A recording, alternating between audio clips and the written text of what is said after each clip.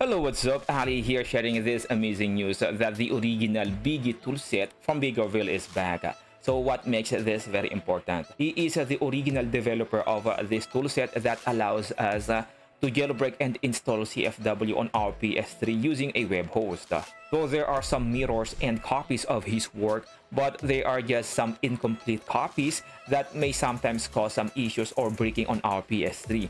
That is why it is highly advisable that if we are going to jailbreak our PS3 using a web host, we have to look for the original digital toolset. And on this video, I will show you how we can access this toolset and use it to jailbreak our PS3. Though at the time of uh, recording this video, it is still only working from 4.80 to 4.89. But they are already working to port this to 4.90. So if ever it will also support 4.90, I will just update uh, the uh, information on our description as well as the links. But you can follow exactly as what we are going to show on this video. Having said that, I strongly recommend to follow this video exactly as it is. Don't skip a step to ensure the success rate of this whole procedure. In the meantime, if you are already on 4.90, you can use a PS3 Online Flasher to jailbreak and install CFW on your PS3. I will just go ahead and leave a link on our description on how to use the PS3 Online Flasher to jailbreak the PS3. Let us start with the requirements.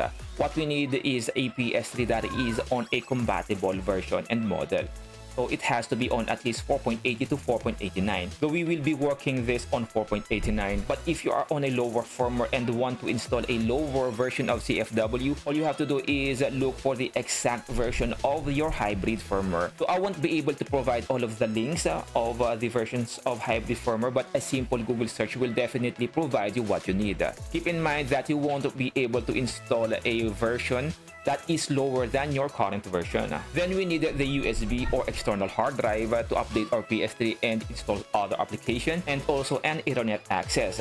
Now let us go ahead and address uh, the compatibility of uh, different versions of uh, PS3 for you to know if your PS3 is good for CFW. At the back or at the bottom of our PS3, we will find a sticker that also includes the CECH model of our PS3 so this is uh, the back of the PS3 and this is the bottom. And here, this is the CECH model. And these are the three different PS3. The PS3 FAT has a model of CECH-A to CECH-M. And the PS3 Slim has uh, a CECH model of 2000 to 3000, while the PS3 Super Slim has a CECH of 4000 all FAT PS3 are compatible with CFW. So if you have a, FAT PS3 like this one, then you can proceed and follow uh, this video to install CFW. Some PS3 Slim are compatible, so you have uh, to check uh, the model.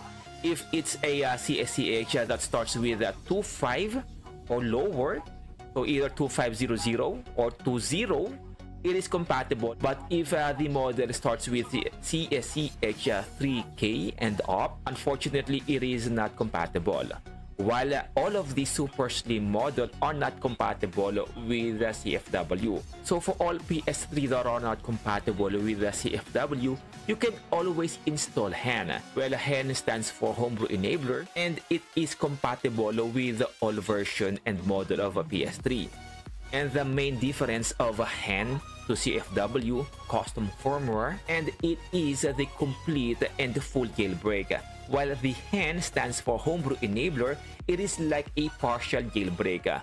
While it supports all the PS3 or majority of the PS3 games, there are some functions and features that is only available for CFW. But if you are just into uh, PS3 games and uh, some emulators, HEN will definitely work out, meaning that you can uh, still uh, play most of the PS3 games, use external hard drive on your PS3, and play some emulators. I will just leave a link on our description on how to install HEN on different models of uh, PS3 using alternate host. Now for the links, you'll find the links in our description and it will take you to these websites.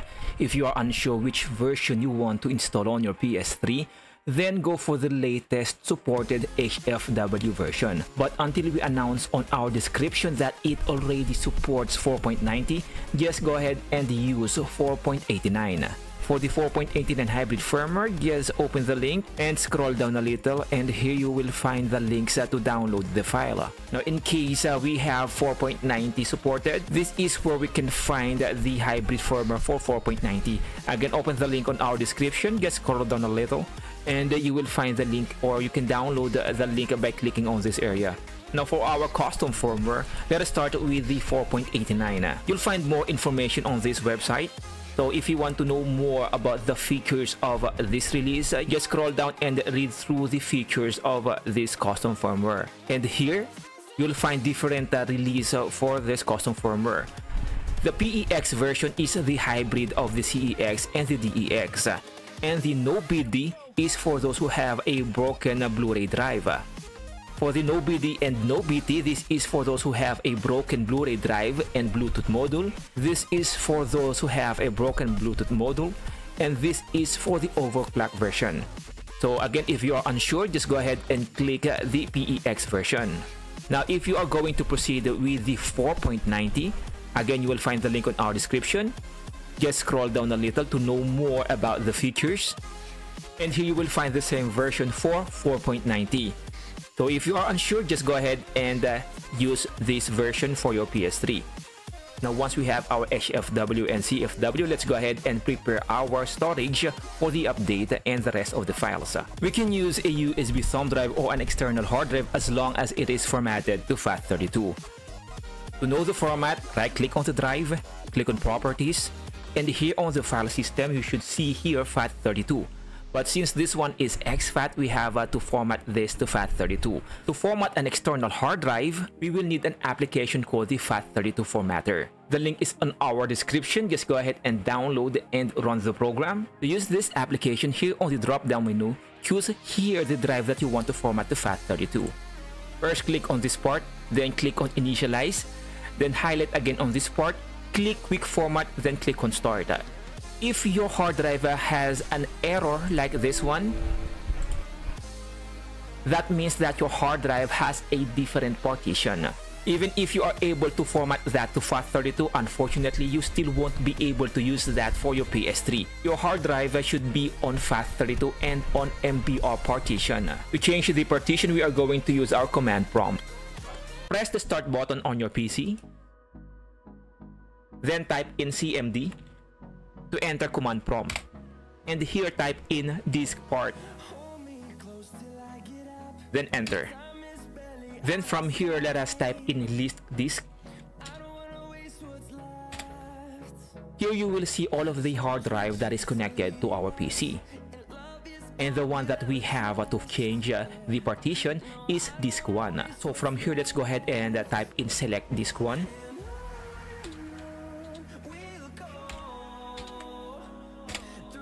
Now once it's selected, we have uh, to format the hard drive first by typing clean. But before we do that, make sure that you have no important files or data on your hard drive because uh, cleaning the hard drive will reformat the hard drive and will remove all of its content. So if you are currently using your hard drive, make sure you properly back up all of your files first before you format your hard drive. And if you are ready to format the hard drive, just type in clean here press enter. Now we have successfully formatted the hard drive and from here it is now ready to change the partition. And to do that, just type in convert MBR. So just a short recap, type in CMD on the start button, then uh, select command prompt. Then on the command prompt, type in disk part and a new window will pop up. Type in list disk to check all of the hard drive available. Then uh, select the disk you want to format then you have uh, to clean it first then from there you can go ahead and change uh, the partition to MBR so right now we have already changed its partition to MBR so let us go ahead and uh, run our formatter now you will see here if we select the hard drive our formatter can now locate or can now detect the hard drive. That means that this one is already on MBR. Now let's go ahead and format this hard drive. So just click on this part, then initialize, click on OK. Then go ahead and click this one again. Click on Quick Format, then Start. You will see that you have successfully formatted the hard drive. By the way, to download this application, I have already left a link on our comment section and just scroll down a little and click on this area to download that application. You don't have uh, to install the application. All you have to do is download and run the application. Now, once we have uh, prepared the storage, we have to create a folder on the root of our hard drive naming PS3 all capitalized. Then inside this folder PS3, we are going to make another folder, update, again all capitalized. Here on the update folder, we are going to place the update file that we are going to use on our PS3. And make sure that it has uh, this file name, this exact file name, otherwise our PS3 won't recognize the update file. Now once we are good with the update and our external hard drive, let's go ahead and update our PS3. On our PS3, first we have uh, to make sure that our PS3 can detect the USB. You will know that if you can see the USB icon here on the video, or the music, or on the photos. If you don't see the USB device here, it's either your PS3 could not detect your USB or hard drive, so you have to make sure that it's formatted to FAT32 and it has an MBR partition. If you were able to make sure of that and still your PS3 could not detect your USB, then try a different USB port on your PS3 or just uh, try a different USB. And once we have verified that, let's go to the system update and click on update uh, via storage media. Now, if you are getting any issues here like uh, no applicable update has been found or you are already on the latest update or any issues uh, with the update here, it is very much advisable to use a safe mode to update your PS3. To use safe mode, we have to turn off the PS3 and have a USB cable ready to connect our controller on the PS3. To get to the safe mode of the PS3, here's what we need to do. Uh, so hopefully you can notice our PS3 here. By the way, uh, we are using the fat PS3, but uh, it is the same uh, with all the models of the PS3. So here on the standby mode, just press and hold the power button. Hopefully you can hear the beep. Okay, so that is the second beep. And wait for the third uh, wait for the third beep, then it will turn back red. And once it's red, press and hold the power button again. And wait for the third beep. So that is the first,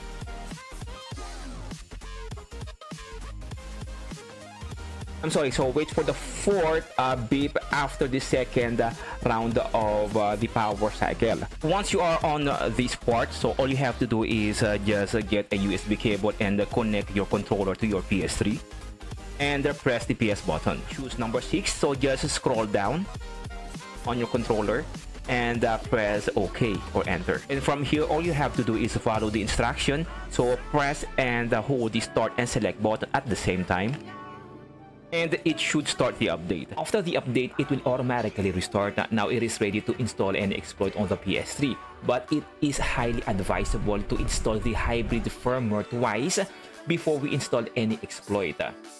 And once we are good, we can go ahead now and go to the internet browser just to make sure that we are already connected to the internet. Now here on the browser, we'll just have uh, to make some preparations. Uh, so press triangle on your controller, go to the tools, confirm browser close, make sure that it is turned to off. Next, on the home page, use blank, press OK. Then uh, again back to tools, then delete the cookies,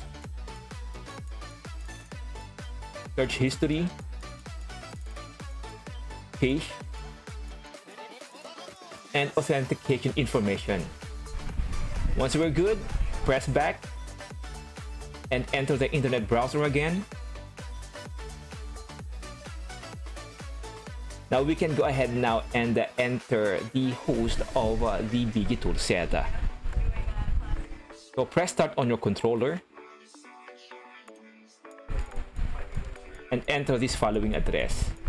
Now we can go straight to the ps3toolset.com or we can also add uh, the HTTP colon then double slash ps3toolset.com. Just don't use the HTTPS. Only use HTTP then press start.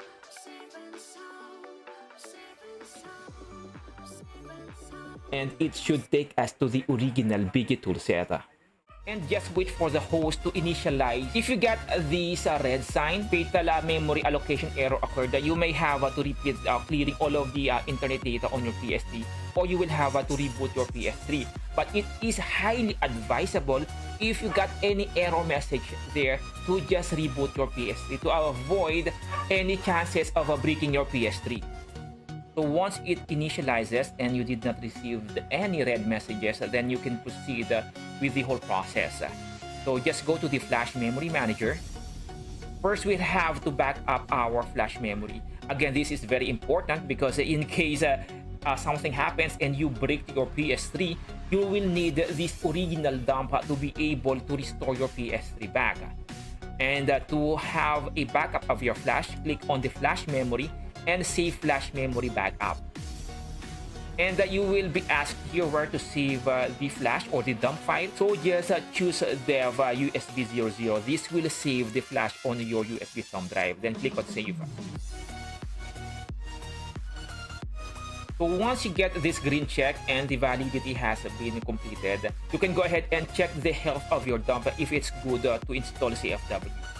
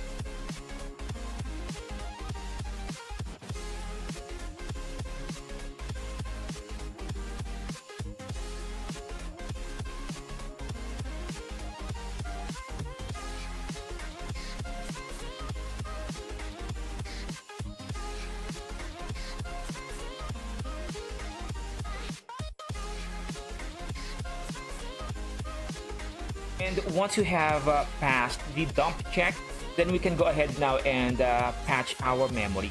To do that, first we have to download the patch. Here on the flash memory patch, click here load the patch via HTTPS. This will download the patch that we need on our PS3. So uh, just make sure that the PS3 here is not interrupted uh, while it downloaded the file. Once it's done, just click on close then we can now install the patch. Again, let's go back to the flash memory patch and apply the loaded patch. This will apply the patch that we have just downloaded. After the patch, you may go ahead and install uh, the CFW that you prefer. And it is highly advisable uh, to do any updates using the safe mode. And uh, if you encounter any issues uh, before you get to this part, it is also advisable to just repeat the process from the start to avoid any possible issues. And also, I would like to remind to have a backup of your original dump file. After the patch, you just have to restart your PS3 and install CFW. But one important note, uh, after you install CFW and you want to update uh, to a later version of uh, the CFW, you don't have to go through the whole process. Just go ahead and directly install a CFW. So for example, you have successfully installed the 4.89 CFW and you want to install 4.90 CFW, just download the version and update on top of your 4.89 CFW. So this will be it on our video. In case you encounter any issues or errors, just go ahead and share them on our comment section and I will definitely address them. And again, this is Ali. If you found this video helpful, please go ahead and like and subscribe and I will definitely see you on our next video. Bye-bye.